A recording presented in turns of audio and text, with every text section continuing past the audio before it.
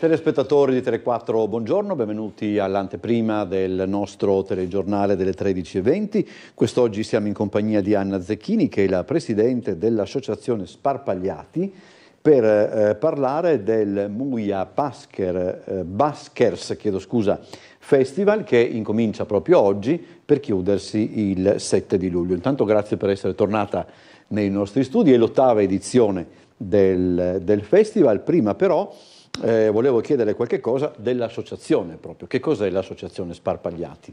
Beh, intanto grazie a lei che ci accogliete nuovamente qui.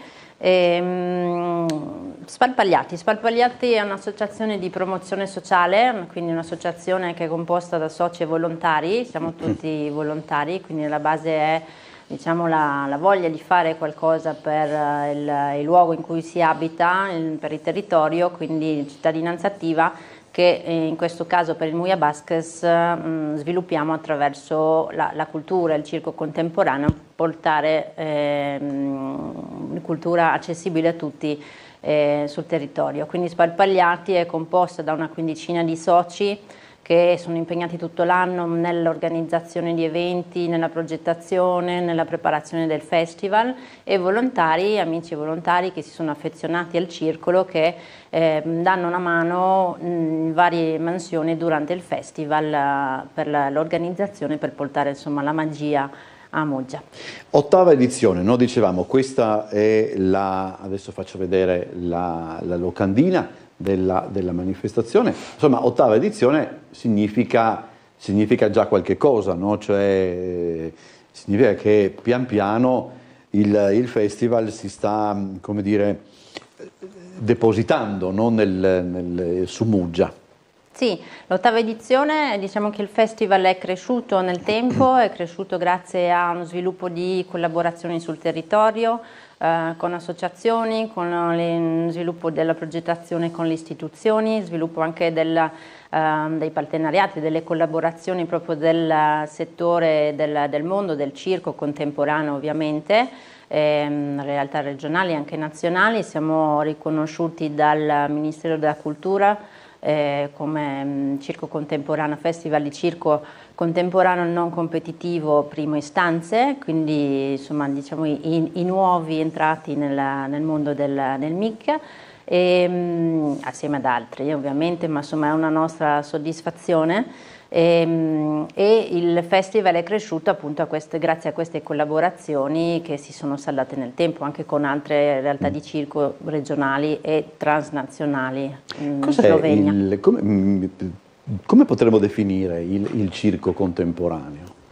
Allora, il circo contemporaneo diciamo, è una forma d'arte che mescola eh, varie discipline, varie ricerche artistiche, la creatività. Eh, nasce nel XX secolo eh, diciamo per dare uno, uno sbocco ad artisti, giovani artisti che eh, non vogliono portare avanti il circo tradizionale ma portano avanti il circo contemporaneo con nuovi linguaggi, nuove ricerche artistiche e creatività quindi diciamo non ci sono animali, quindi mm. la differenza col circo classico è, eh, sono le, gli artisti e non animali che sono al centro della, eh, del circo contemporaneo e quindi eh, diciamo una, una, creatività, interazione con varie discipline, e, ricerca artistica. E quasi sempre, se non, insomma, se vado, se, vado, se non mi sbaglio, eh, diciamo c'è l'elemento di eh, acrobazia acrobazia, giocoleria, insomma, no? che può ricordare determinati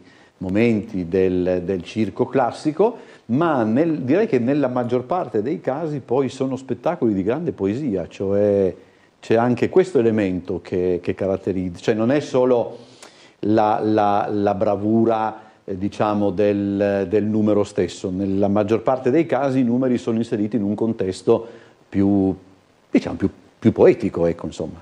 Sì, certamente c'è la poesia, ma diciamo che la base è una contaminazione continua una, uh-huh. e creativa, eh, contaminazione tra il teatro, il circo, la comicità, eh, ma anche la danza e la musica, quindi è una, un'interazione, una contaminazione continua di linguaggi artistici. C'è, ci sono certamente le acrobazie, ci sono le, i racconti, la drammaturgia, che insomma ogni spettacolo racconta una storia, a modo suo, a, secondo le, ovviamente la volontà e l'intenzione degli artisti che fanno parte della compagnia e mescolano appunto le acrobazie, la giocoleria ma anche eh, la narrazione, quindi è una storia che viene portata al pubblico, che viene trasmessa al pubblico anche interagendo assieme al pubblico che viene spesso coinvolto negli spettacoli.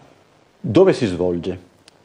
Allora, si svolge a Muggia, eh, inizia quindi oggi, 3 luglio, fino al 7 luglio domenica. I primi giorni ci trovate in Piazzale Alto Adriatico, all'ingresso di, di Muggia, con lo chapiteau di circo, del Circo Madera, quindi il tendone di circo, e altri spettacoli, spettacoli anche per i bambini, spazio giochi per i bambini, per poi dopo andare a diffonderci nel centro città eh, a Muggia, nella piazzale Caliterna, lungo il mare, piazza Marconi, Salle Mar e Biblioteca, quindi sono le piazze principali un po' mh, disseminate, nella, spalpagliate nella città di Muggia. Eh, ci sono spettacoli eh, quindi concepiti, mettiamola così, anche per spazi differenti? Esatto, gli spettacoli hanno questa caratteristica anche di adeguarsi al contesto in cui si inseriscono. Eh, prendiamo l'esempio degli spettacoli di, ehm, dei giovani artisti, la collaborazione che portiamo avanti da diversi anni con la scuola di circo Flick di Torino, quindi una ricerca che viene fatta con il direttore artistico Riccardo Strano e eh, assieme ai mh, mm, giovani artisti che fanno la for formazione a Torino ehm, producono uno spettacolo, due spettacoli in questo caso quest'anno, e che viene poi inserito nel contesto specifico di Muggia. Tra l'altro poi lo stesso ehm, anche Muia, per me è difficile sempre pronunciare, Muia Baskers produce uno spettacolo, no? Sì, il Muia Baskets Festival produce, Spalpagliate produce assieme a eh, Cordata For, che è una compagnia eh, di circo nazionale, eh, da diversi anni portiamo avanti questa ehm, coproduzione, ogni anno è una coproduzione diversa, ma in questo caso portiamo eh, una, diciamo, un nostro prodotto eh, che è nato nel Muia Basket Festival che poi si è sviluppato con appunto Cordata For e un, dei giovani artisti che hanno fatto una coproduzione qualche anno fa su un, un, tema, un tema, specifico e eh, quest'anno arrivano con il loro spettacolo Swell Circonda e ah, eh, ci sveleranno appunto il segreto della loro ricerca artistica di questi anni a cui abbiamo contribuito. Quando avete cominciato eh, otto, otto, anni fa, no? mm-hmm. eh, che tipo di, come posso dire, che cosa vi aveva convinto a, ad incominciare questa avventura? La, credo la passione di portare una novità a, a Muggia, l'idea di portare qualcosa di culturale ma che crei anche un'occasione di aggregazione sociale, quindi farsi ritrovare nella, nella città, vivere gli spazi pubblici che magari si vivono sicuramente in un determinato modo al quotidiano ma che poi con l'occasione del festival eh, vengono vissuti in modo diverso, quindi la, la, la, volontà di creare qualcosa di nuovo, il circo contemporaneo, un festival di circo contemporaneo a Muggia non esisteva all'epoca, eh, quindi è stata una sfida che abbiamo ecco, questo, voluto cioè, portare avanti e che continuiamo a portare avanti. Era una, una scommessa sfida. otto anni fa. Era una scommessa, rimane tuttora una scommessa perché di anno in anno il programma cambia, mm-hmm. il pubblico cambia e quindi insomma è una sfida ogni anno per tutti noi. E Muggia si presta a, a questo tipo, immagino per come, per come è strutturata, per come è fatta, per quello che ha a disposizione. Sì, Muggia si presta molto come palcoscenico all'aperto, insomma le varie piazze che sono dalla, con un'architettura specifica che accoglie eh, gli spettacoli e che rafforzano anche la magia portata dagli artisti. Oh, allora, sabato e domenica sono le giornate dove ci sono, eh, c'è il maggior numero di appuntamenti, sono appuntamenti che ben, oggi iniziano alle ore 18, uh -huh. domani alle 17.30, venerdì già alle 16, sabato addirittura dalle 15 dalle 15.30 e eh, domenica ancora dalle 17. Che cosa è sta roba che ho letto qua? Sta roba, chiedo scusa, non dovrei dire così, ma mi, mh, mm, eh, la festa conclusiva c'è scritto i, i Jennifers, i classici più classici suonati con attitudine punk e mentalità da officina. Che cos'è? Allora le lascio la curiosità eh. perché insomma è l'effetto a sorpresa per chiudere ah. il festival, sono degli artisti che fanno parte eh, della, insomma, del programma di quest'anno mm. che eh, concluderanno il festival con della musica a, a modo loro, ma le lascio Deve il Deve essere curiosissimo, mi, mi, mi incuriosisce in quei classici più classici, attitudine punk e mentalità da officina. Questo è appunto lo spettacolo di chiusura che, che si terrà in Piazzale Alto Adriatico a partire dalle 22.30 di domenica, di domenica 7 luglio. Ci sono anche eh, due, eh, c'è un appuntamento, no, sabato c'è la visita al, anche al Castello di Muggia. No? Che sì, la visita al Castello di Muggia è una collaborazione che portiamo avanti da 3-4 anni, quindi eh, il Castello di Muggia, i proprietari ci ehm, dedicano un, un, attimo del loro tempo, insomma, aprono il castello ad hoc durante il festival, quindi la visita è su prenotazione, ma è l'occasione appunto di scoprire un patrimonio storico di Muggia e poi dopo eh, arrivare in piazza e vedere gli spettacoli. Gli altri spettacoli che sono importanti sicuramente da non perdere, io direi il Circo Madera e Trocos Lucas, che sono due compagnie, una è spagnola, l'altra viene dal Piemonte, ma come dicevo sono la, la, la creazione artistica che li unisce eh, sono su prenotazioni i, i, gli spettacoli in Piazza Alto Adriatico, si possono anche ehm, prendere i biglietti sul posto, sì. quindi o online o sul posto e eh, diceva gli orari iniziano presto il venerdì e il sabato alle 16 e alle 15.30 perché ci sono dei laboratori per i bambini. Ho capito che vengono fatti al Circolo della Vela, presso la palestra del Circolo della Vela e quindi iniziano un po' prima in modo che dopo si possano eh, vedere gli spettacoli. Allora, alcuni degli appuntamenti sono a, a pagamento, ma insomma il costo è veramente minimo, insomma, mm. si, può, si, può, anche dire, e nel, eh, nella brochure eh, sono anche indicati appunto quelli dove c'è il simbolo del, del biglietto significa che sono, che sono a pagamento. Esatto. allora io direi che tutto quanto, appunto per chi volesse approfondire un attimo di più gli appuntamenti, li trova, eh, sulla, li trova sulla brochure.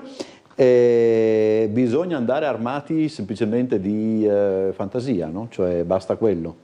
Basta quello, voglia di divertirsi, di vedere cose nuove, di scoprire spettacoli nuovi e mm, aver voglia di venire fino a Muzza.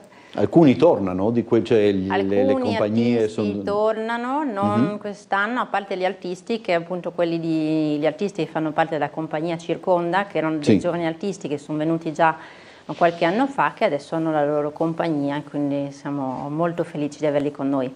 Allora io ringrazio Anna Zecchini che è la Presidente dell'Associazione Sparpagliati per essere stata con noi, vi ricordo gli appuntamenti con il Muia Baskers Festival dal 3, quindi da oggi fino al domenica 7 luglio, poi immagino che anche l'associazione ha un suo sito dove si può conoscere anche che cosa fate quando non fate il, il Muia Baskers Festival? Sì, il nostro sito è collegato alla Muia Baskers, Muia, okay.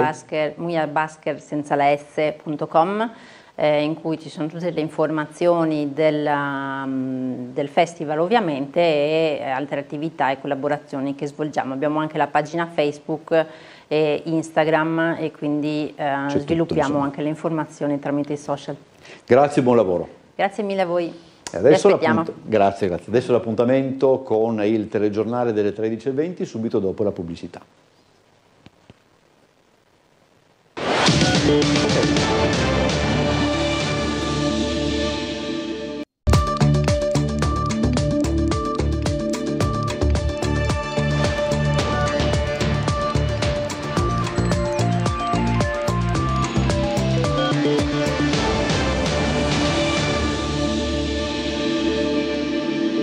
Telespettatori di Tele4, buongiorno, benvenuti a questa edizione del nostro telegiornale che si apre subito con la cronaca. Quattro auto incendiate in pochi giorni fra l'Istituto Galbani e via di Campanelle. Stessa sorte per alcuni bottini dell'immondizia, alcuni residenti della zona hanno detto di aver udito delle esplosioni. La Polizia di Stato indaga e caccia al piromane. Auto bruciate nella notte, siamo in via di Campanelle, l'episodio è successo circa alle 3, è intervenuta la Polizia di Stato, infatti la squadra volante sta indagando sull'episodio, ovviamente sono intervenuti i pompieri per spegnere le fiamme, guardate che disastro, un'auto completamente bruciata, rimane solamente la eh, carcassa, qui i nastri dei pompieri a delimitare l'area dell'incendio, ma se ci spostiamo poco eh, più avanti, tra l'altro presenti anche, eh, credo, eh, i figli, i parenti di uno dei proprietari dell'auto che stanno controllando i danni, anni e qui vedete gli altri nastri a delimitare l'area dell'incendio dei vigili del fuoco e la seconda auto completamente bruciata e adesso le persone hanno paura che ci sia un piromane che gira proprio in questa zona. È caccia al responsabile o ai responsabili che hanno dato fuoco le due auto parcheggiate all'autostrada. La pista degli investigatori è l'incendio doloso, anche se tutte le ipotesi rimangono al vaglio. Saranno le immagini di videosorveglianza delle telecamere, poche peraltro quelle presenti in zona, che potrebbero fornire elementi decisivi all'indagine. L'azione di un piromane, una bravata, la gente del quartiere ha paura perché questo non è il primo episodio. Altre due vetture hanno preso fuoco pochi giorni fa, stessa sorte per alcuni bottini dell'immondizia e tra i residenti c'è chi ha udito esplosioni nella della notte per entrambi gli episodi. Ma spostandoci proprio più su all'Istituto Galvani, ecco cosa troviamo. Altre carcasse di auto bruciate, un vecchio camper completamente mangiato dalle fiamme. A dare la notizia delle auto incendiate in via Campanelle proprio la proprietaria della Polo che ha contattato stamattina la trasmissione Sveglia Trieste. Alle 5 suonare, è venuta a suonare la polizia a casa nostra e ci hanno dato la felice notizia. Hanno preso la nostra, hanno saltato due macchine e hanno incendiato la quarta. So che tanti hanno sentito un boato forte l'altra sera, la del Galvani, e volevo aggiungere che una di quelle tre macchine comunque di un amico e quindi se qualcuno ha visto qualcosa anche venerdì notte se può contattarci su Facebook o su Instagram o non lo so, in oh, qualche magari... modo. La compagna voleva ucciderlo, la procura ne è convinta. Fra poche ore la donna slovena indagato, indagata per tentato omicidio sarà sentita dal GIP e quanto emerge dall'indagine dei carabinieri di Aurisina. Il fatto è avvenuto domenica scorsa, un 45enne era precipitato dal balcone della sua abitazione in via dei Papaveri.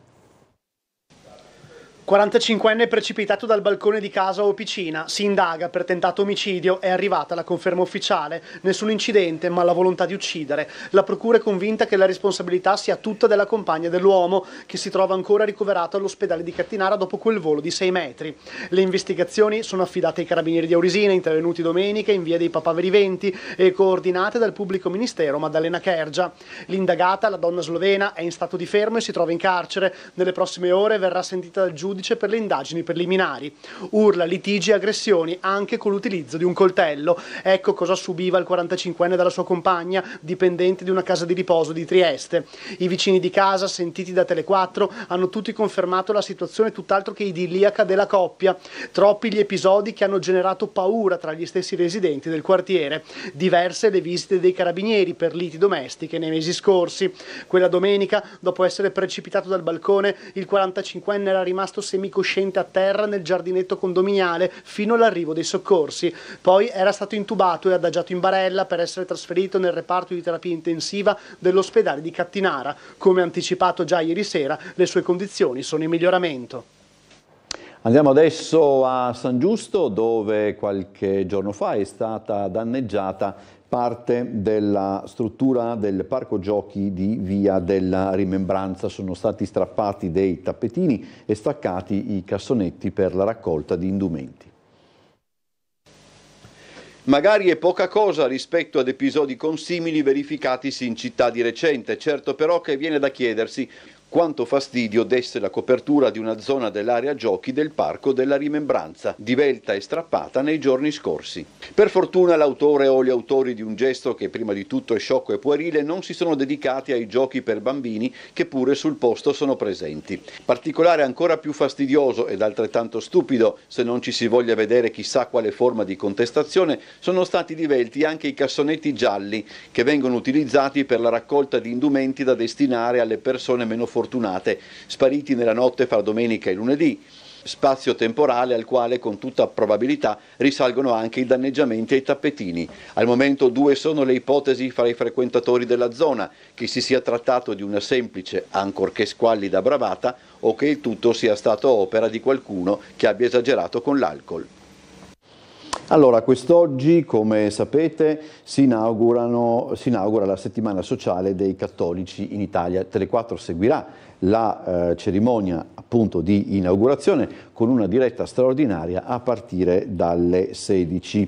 La cerimonia di inaugurazione non si svolge come previsto in Piazza Unità per possibili eh, complicazioni per quanto riguarda le condizioni meteo, bensì al centro congressi di Portovivo che è un po' il quartier generale della eh, manifestazione. Quindi vi ricordo l'appuntamento oggi dalle 16 per seguire la uh, cerimonia di apertura, c'è il Presidente della Repubblica Mattarella, poi ricordatevi anche l'appuntamento di domenica 7 luglio già alle 7 in piazza, eh, insomma, con la visita di Papa Francesco e la messa in piazza Unità. Dovremmo, credo, essere collegati con la sala operativa della Polizia Locale, c'è il Commissario De Grassi, buongiorno Commissario.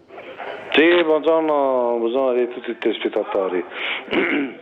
Eh, ne avete già parlato, credo, non sono riuscito a seguire il notiziario in diretta, ma la, la visita è stata modificata. Sì, sì, sì abbiamo detto proprio adesso. Sì, sì. Ecco, allora è previsto l'arrivo del Presidente della Repubblica non in Piazza Unità, ma eh, all'interno del Porto Vecchio, nel centro congressi, perciò le rive non verranno chiuse e la viabilità ordinaria rimarrà invariata. Ovviamente ci potranno essere dei rallentamenti all'arrivo del corteo e, mm, certo. presidenziale alla sua fuoriuscita, eh, ma non, diciamo, le arrive rimangono, rimangono, aperte. Invece verranno chiuse domani per il concerto dalle 19 in poi nel tratto compreso tra piazza Tomaseo e via Mercato Vecchio, come ho già eh, riferito questa mattina. Per il resto della giornata non abbiamo altre particolari cose in agenda, la mattinata è stata ovviamente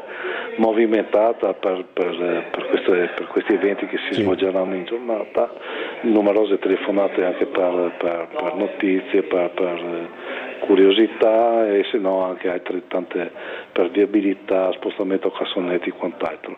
Niente, speriamo vada tutto bene, io al momento non avrei altro da dirvi, vi rimanderei la linea. Grazie commissario De Grassi, buona giornata e buon lavoro. Buona giornata e buon lavoro anche a voi. Uh, dovremmo avere adesso un servizio realizzato uh, in regione dove è stata presentata una uh, possibilità, sì, eccola, che riguarda la previsione, diciamo così, dei temporali. Vado sul generico, sentiamo quello che ci racconta Laura Buccarella.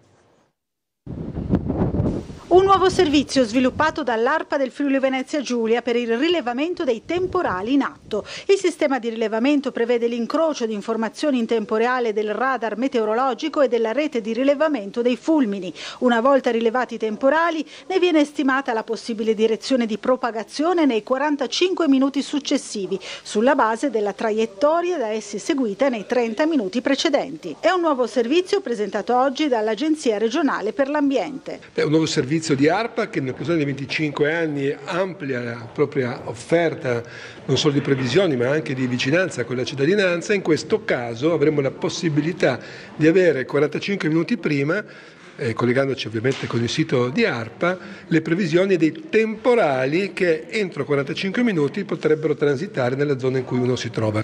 Ma come funziona il servizio? L'utente interessato ad avere informazioni sui temporali attivi nella propria zona deve accedere alla pagina del sito ARPA Friuli Venezia Giulia dedicato al meteo ed entrare nella sezione vicino a te. Nel caso in cui il dispositivo dell'utente venga geolocalizzato in un comune sul quale è previsto passare un temporale entro 45 minuti, allora comparirà un banner giallo sulla parte alta della pagina web con l'indicazione possibile temporale. Quindi un servizio utile, penso a chi fa una gita in montagna piuttosto che un'uscita in barca, anche se quest'ultima magari ci vuole un po' più di attenzione, un po' di previsioni diverse, però voglio dire anche al neofita che vuole fare una semplice scampagnata potrà avere la possibilità di vedere nel prossimo tre quarti d'ora qual è la possibilità che piova o meno. Un bel servizio nuovo, innovativo, parte da oggi. Fino al 7 luglio a Miramare il Teatro Stabile propone I segreti del giardino dell'Arciduca, uno degli spettacoli appositamente concepiti per gli spazi verdi del parco. C'è già attesa per Green Shakespeare e per i discorsi amorosi che chiuderanno verso la fine del mese la mini stagione.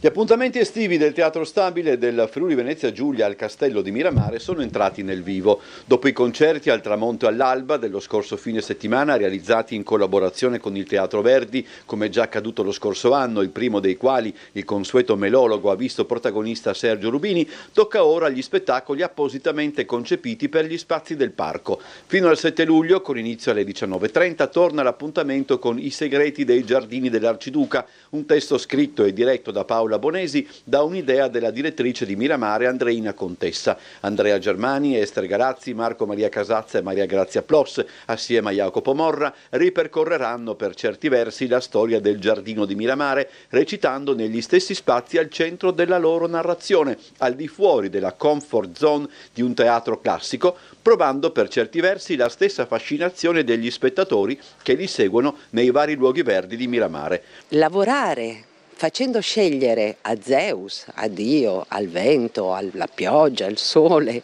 se quella sera si fa spettacolo o no è interessante perché si rimane sempre freschi e vivi sul pezzo.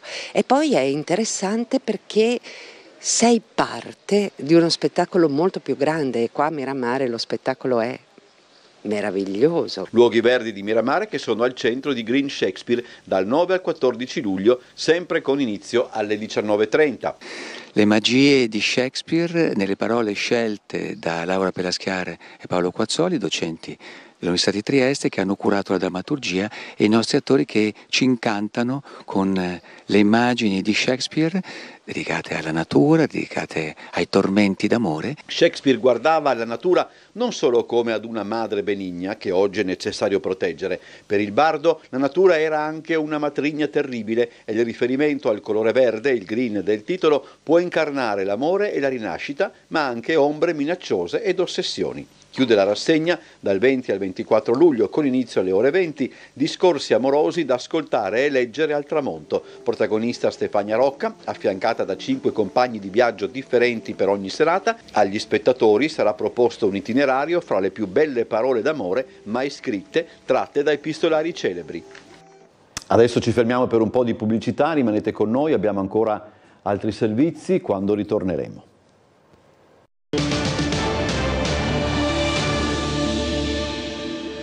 Rientriamo in studio, ieri è stato presentato a Opicina l'armamento del distretto numero 4 della Polizia Locale. Vediamo il servizio. Procede la roadmap per la graduale adozione dell'arma da parte della Polizia Locale. Il quarto distretto di Opicina è il primo dei quattro territoriali ad essere armato. La struttura, con nove operatori, gestisce un territorio ampio, Basovizza, Santa Croce, Gropada e Prosecco, ma si occupa anche di Barcola, Gretta, Cologna e Scorcola. Finora i nuclei armati erano solo quelli specialistici. L'armamento della Polizia Locale è iniziato più o meno un anno fa. Il primo step è stato armare i nuclei specialistici, quindi dalla Polizia Ambientale alla la Polizia Edilizia, il Nucleo Interventi Speciali e tutti gli altri e eh, a partire da giugno abbiamo eh, armato anche il quarto distretto. È stato molto importante questo passaggio eh, per noi ma anche per la cittadinanza. Recenti fatti, avvenimenti di cronaca ci hanno spinto a, a scegliere questo come primo distretto eh, su cui concentrare l'armamento e eh, l'abbiamo fatto ovviamente in un'ottica di un um, miglior presidio naturalmente del territorio. Il quarto distretto è un presidio territoriale abbastanza autonomo e per questo motivo è stato scelto come primo distretto a essere armato, ha detto il comandante della polizia locale Walter Milocchi, ricordando che proprio per la sua collocazione la struttura, da poco guidata dal vicecommissario Fabio Sgambati, ha preso parte a un'indagine coordinata dalla direzione distrettuale antimafia sui transiti irregolari di migranti sull'altipiano. Ricordo a tutti che i distretti sono il primo punto di riferimento della cittadinanza e quindi invito tutti tutti i cittadini a contattare i distretti e a rivolgersi a loro per ogni tipo di, di, di segnalazione o di suggerimento. Completato il restauro, il Rotary ha riconsegnato al Comune il monumento a Giuseppe Verdi che si trova in piazza San Giovanni. La cerimonia, vediamo. Il Rotary Club Trieste ha inteso celebrare il centenario della propria fondazione restaurando, con il contributo della Fondazione Casali, Officine Vidali e Ricesi Holding, il monumento a Giuseppe Verdi di Piazza San Giovanni, monumento che in vero con il Rotary ha un rapporto speciale, già che nel 1996 fu una rotariana, Fulvia Costantinides, a finanziare il precedente intervento di riqualificazione. Stamani il monumento è stato riconsegnato nelle mani del sindaco di piazza con una cerimonia che ha visto la presenza del past president del Rotary Gaia Furlan e dell'attuale presidente Alessandro Zammarchi, nonché dell'assessore regionale Pierpaolo Roberti. È un elemento di attenzione forte per quanto riguarda il patrimonio artistico presente storico e artistico presente sul nostro territorio, ma soprattutto è la dimostrazione di quanto alcune associazioni, alcuni enti presenti sul nostro territorio siano sensibili e siano disponibili verso le amministrazioni pubbliche nel dare la loro mano e il loro contributo per garantire quel patrimonio. In questo caso eh, i Rotary prima di tutto, ma assieme ad altre entità, penso alla Fondazione Casali e ancora altre entità eh, soggetti privati del territorio. Il monumento, primo in Italia in memoria di Giuseppe Verdi, venne inaugurato il 27 gennaio del 1906 a cinque anni dalla scomparsa del compositore, opera dello scultore Alessandro Laforè. Il 24 maggio del 1915, a seguito della dichiarazione di guerra all'Austria, l'opera venne ritenuta un simbolo di italianità e distrutta dagli stessi austriaci. Una nuova statua fu ricostruita, fusa con il bronzo ricavato anche dai cannoni trafugati in guerra agli austriaci e riposizionata proprio il 24 maggio del 1926. Con Piazza Unità blindata il lavoro crolla, le persone vogliono evitare gli ostacoli. Ha parlato così con noi il gestore del bar Piazza Grande facendo riferimento ai grandi eventi che se da un lato portano lustro e visibilità a Trieste, dall'altro impediscono di lavorare al meglio. Ma vediamo la intervista.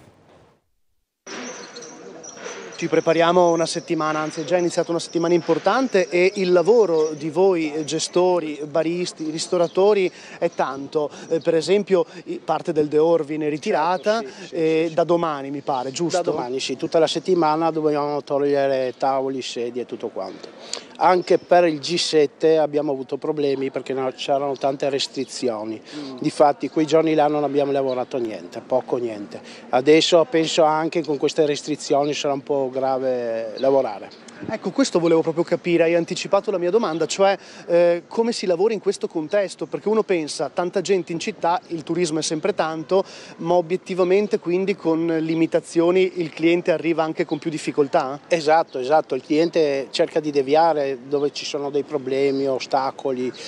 Noi abbiamo purtroppo 50 metri quadri e lavoriamo con l'esterno, se non lavoriamo con l'esterno non facciamo niente, purtroppo è così anche questi concerti, eh, boh, l'arrivo del Papa, hanno fatto Porto Vecchio, sarebbe anche di usufruire il Porto Vecchio, no? Un po', invece che sempre in Piazza Unità che è tro- sotto pressione, secondo me.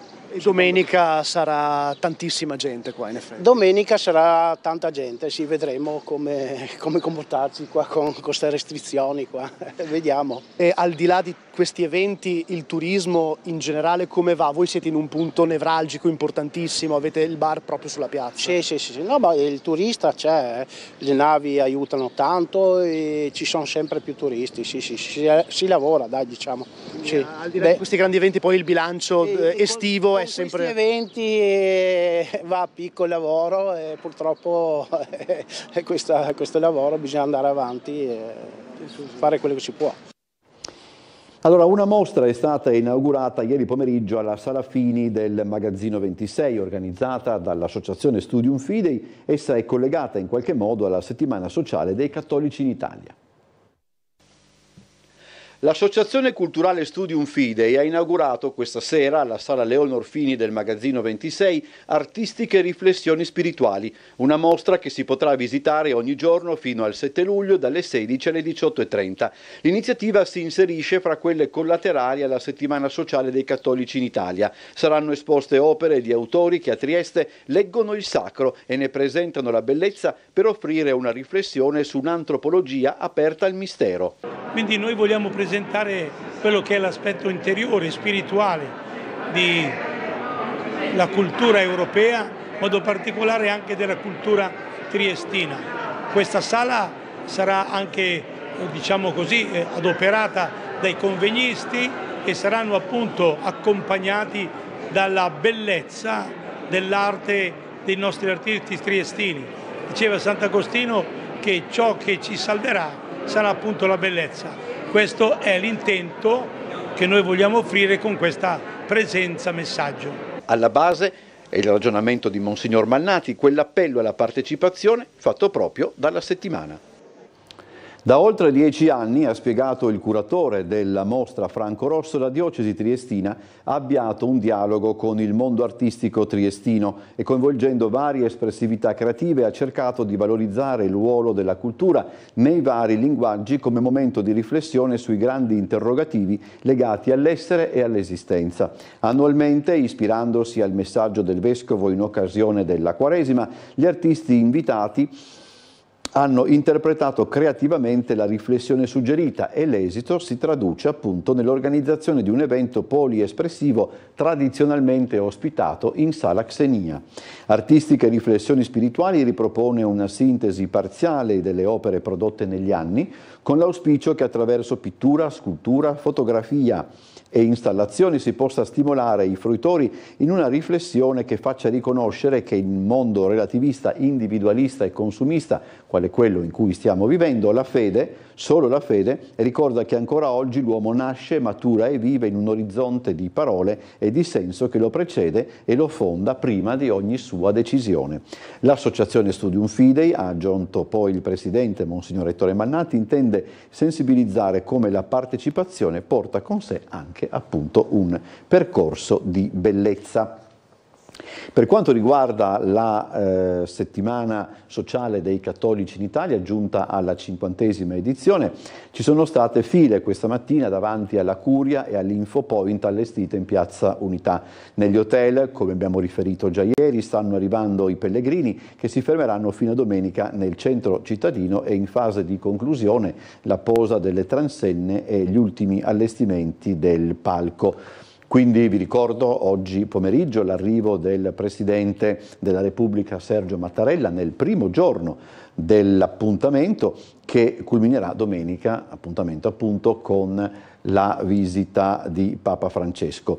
Code davanti alla curia dove persone di tutte le età, triestine ma anche non, sono in attesa di ritirare il pass per assistere alla messa di domenica, un accredito richiesto secondo specifiche disposizioni emesse nei giorni scorsi. Cittadini e turisti in fila anche davanti all'ufficio informazioni allestito per l'occasione in Piazza Unità per fornire indicazioni al pubblico sugli eventi in programma in tanti alberghi del centro e non solo, sono arrivati da stamattina i fedeli che appunto si fermeranno fino a domenica. Vi ricordo che noi ci vediamo alle 16 per seguire in diretta la cerimonia di apertura della eh, cinquantesima edizione delle, se, della settimana sociale dei cattolici in Italia, cerimonia che avrebbe dovuto tenersi in Piazza Unità ma che è stata spostata al centro congressi del Porto Vecchio, centro congressi del Porto Vecchio che è la eh, base operativa, il quartier generale delle discussioni